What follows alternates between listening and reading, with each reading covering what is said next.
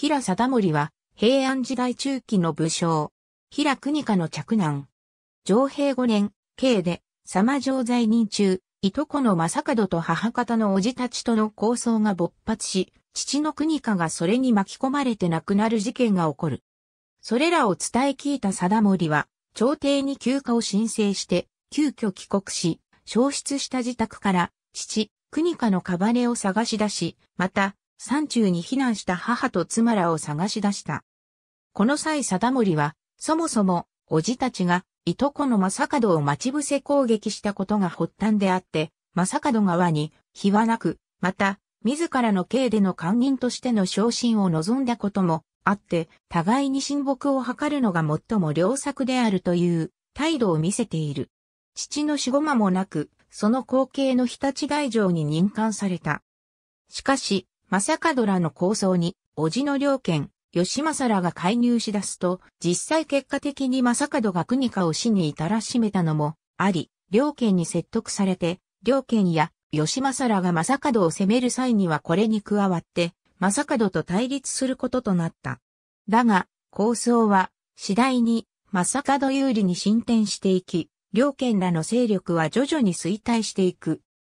上平八年貞盛は収祖のために密かに上洛を企てるも、これを察知した正門に2月29日、信濃国小さ型軍の信濃国分寺付近で追いつかれ、旧地の重野常成、小さ型軍人の長田の牧と共闘するも敗れるが、なんとか脱出して京能都にたどり着いた。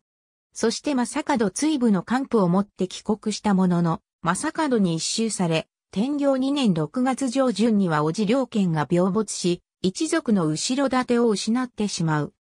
同年10月、陸奥森平井佑が不妊途中に下野国に入ると、これに従って、道の国入らんとしたが、再び正門の追撃を受けたために逃亡し、イタスクは、貞森らを見捨ててしまった。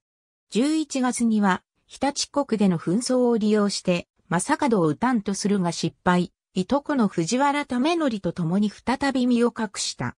天行2年12月には正門が親王を自称する。天行3年、日立国北部にて5000の兵を率いて、貞森、為則らの捜索が行われるも、当人らは発見できず、代わりに貞森と源の佑の妻が捕らえられたのみで、正門は彼女らを放免して、捜索を中断し兵を各地に返した。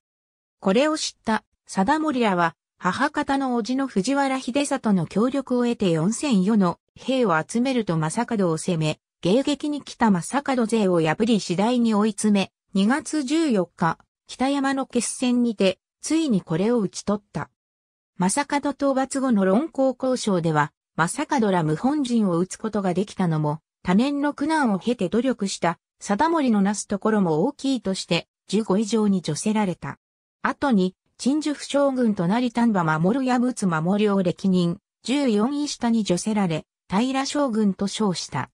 長男の稲部は、藤原成時の子で養子と伝えられており、当初の着流は、次男、今佐の系統だった。次男、今佐の子のこれ時も、祖父、貞森の養子となっている。今佐の孫である平能方の子孫は、北条氏、熊谷氏と称している。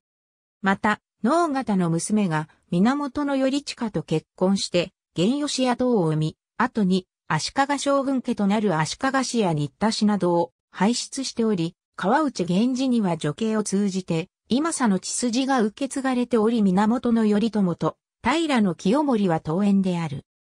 四男以降は伊勢氏、また後に平清盛を生み出すことになる伊勢平氏の祖である。弟繁盛の息子たちも叔父、貞盛の養子となっており、戸隠の騎女紅葉大寺の伝承で名高い余り後、将軍、平これ持ちは繁盛の系統である。伊勢市の系統からは、戦国時代に北条総雲をはじめとする五北条氏を輩出している。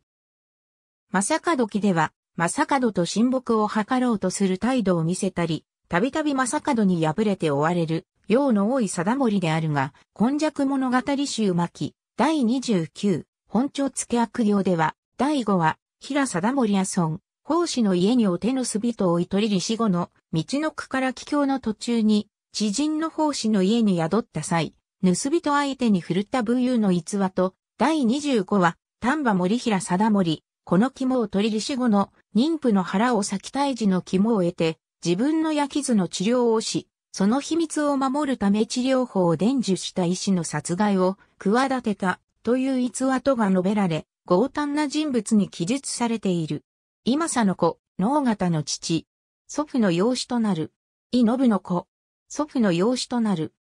不走略記では、正門の戦士を貞森の放った矢により不祥落馬し、そこに、秀里が派切け首を取ったとされているが、不走略記の平の正門に関するの記述は、正門記の本案とされ、信憑性はない。ありがとうございます。